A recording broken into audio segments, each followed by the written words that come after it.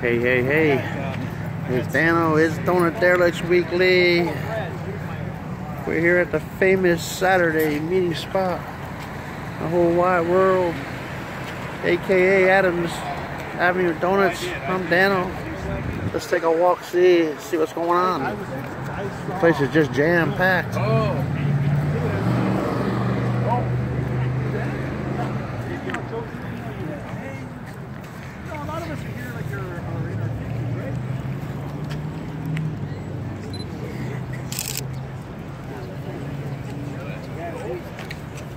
And fucking pennies sitting around. Uh, check out this. How cool is this?